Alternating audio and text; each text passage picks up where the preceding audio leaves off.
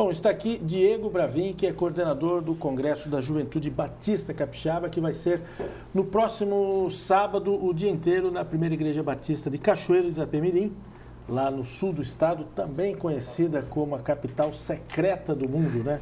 É, Diego, tudo bem? Boa tarde. Boa tarde, Giovanni. Boa tarde, amigos que acompanham o Espaço Capixaba. É um prazer retornar a essa casa para falar do que Deus tem feito através da Juventude Batista do Estado do Espírito Santo. Pois é, Diego. Quando a gente recebe alguém para falar de juventude aqui, é, sempre vem os desafios da juventude.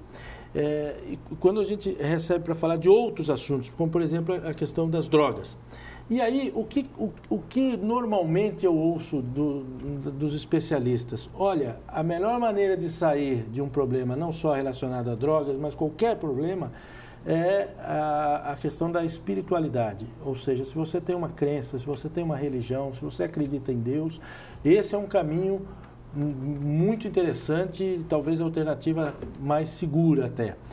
E cada vez mais os especialistas se dão conta disso. Hoje, por exemplo, amanhã a gente vai entrevistar um deles, que é o da Fazenda da Esperança. E dessa vez vocês tomaram a decisão de, em vez de colocar palestras contra as drogas, palestras sobre os desafios da juventude, vocês vão colocar pregação durante todo o Congresso. É, talvez seja uma afirmação de que essa realmente é a saída, né? Isso aí, Giovanni. Eu quero ampliar um pouco o assunto. É, a palavra de Deus, a Bíblia, no livro de 1 João 2, versículo 14, diz o seguinte: Eu vos escolhi jovens porque vocês são fortes e algumas vezes sou questionado qual o trabalho da juventude batista capixaba. É somente dentro das igrejas? Não. O trabalho ele visa alcançar jovens que estão perdidos, inclusive no mundo das drogas. Uhum. Pessoas que necessitam e carecem de uma palavra de restauração, enquanto muitas pessoas tentam é, fortalecer a visão de buscar o inusitado, esse jovem vai buscar através das drogas. E fica um grande vazio, há um prazer momentâneo, mas fica aquele vazio. E o nosso papel como Juventude Batista Capixaba, como jovens cristãos, é influenciar esses jovens para um prazer que não é momentâneo, é um prazer eterno. E o congresso do qual nós estamos falando aqui nessa tarde, ele visa justamente isso. O nome do congresso é Reação 2010. Uhum. São palavras de reflexão, a fim de que o jovem possa despertar para o seu papel dentro da igreja e também dentro da sociedade, como um jovem contagiante e que venha influenciar com bons costumes, com princípios e com valores. Ou, ou seja, a, a fé é capaz de te dar a segurança necessária que às vezes você busca em, outros, em outras alternativas não, não tão edificantes, né?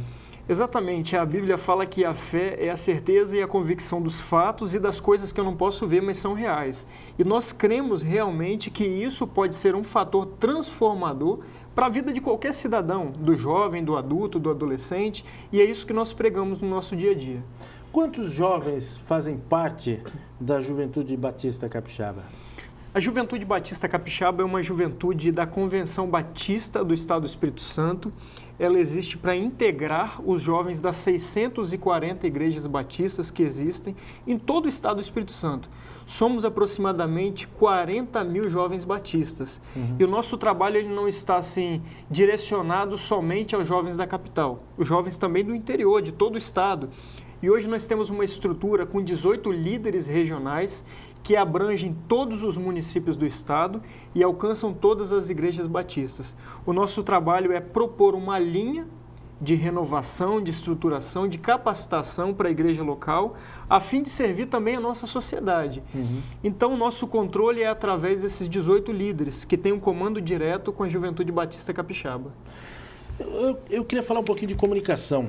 É, com a criação de programas e até redes de televisão das igrejas, você acha que ficou um pouco restrito o espaço para se discutir coisas da, relacionadas às atividades das igrejas ou até para falar de Deus nos programas aí no dia a dia de jornalismo, por exemplo?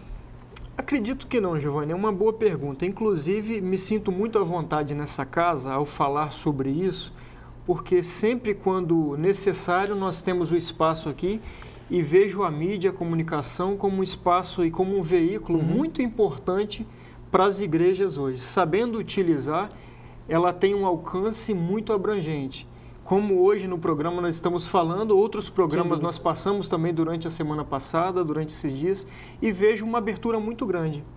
Quer dizer, o, o, espaço não se tornou restrito por causa de programação específica, nem de, nem de redes que, que tratam só da questão da religiosidade, né? Acredito que não. Há uma diferenciação muito grande em relação a esses programas mais específicos, do qual você se refere, programas evangélicos e esses programas de comunicação.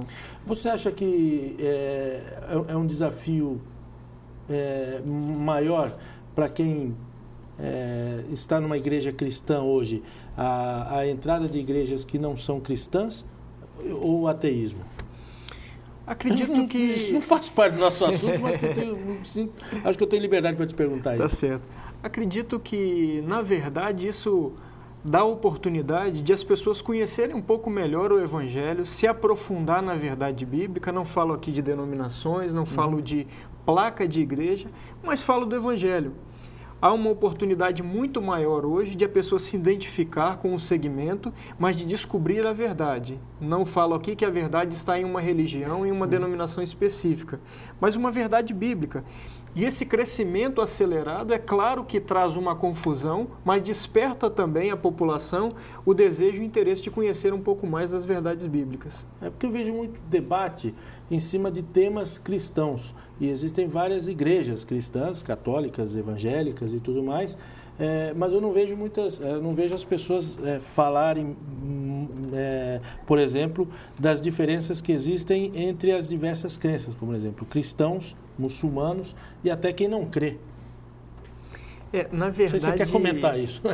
na verdade, hoje eu vejo um espaço muito amplo. Uhum. A sociedade, a comunicação, a mídia, ela tem trazido informações de uma forma muito rápida para a sociedade e há uma abertura em relação a esses assuntos e essas denominações também que são tratados, inclusive dentro da igreja, com muita liberdade.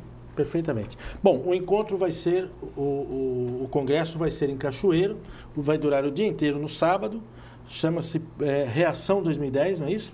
Exatamente. E vai ser na primeira Igreja Batista de Cachoeiro de Itapemirim. Exatamente. O Congresso Reação 2010 é o Congresso da Juventude Batista Capixaba, que acontece nesse dia 20 agora, no nosso sábado, né? E vocês eh, esperam receber quantas pessoas lá? Aproximadamente 1.500 pessoas estarão ali na primeira igreja batista em Cachoeira de Itapemirim. Obrigado, Diego Bravin, pela presença. Eu fugi um pouquinho do assunto aqui, eu, aliás, tem gente que reclama, até entrevistado às vezes reclama, mas você, eu vim para falar de uma coisa, você foi falar de outra, rapaz. Isso acontece, para não fugir ao perfil também. Obrigado, um bom congresso para vocês. Obrigado, Giovanni. E um abraço a todos da Juventude Batista Capixaba, parabéns pelo trabalho que vocês realizam é, essa preocupação de vocês, com, não só com a juventude, mas com a presença de Deus na vida das pessoas, é algo salutar, importantíssimo. Sem dúvida, vocês ajudam a criar uma mentalidade saudável e, e muito edificante. Eu volto já para a gente falar do primeiro encontro de economia do Espírito Santo.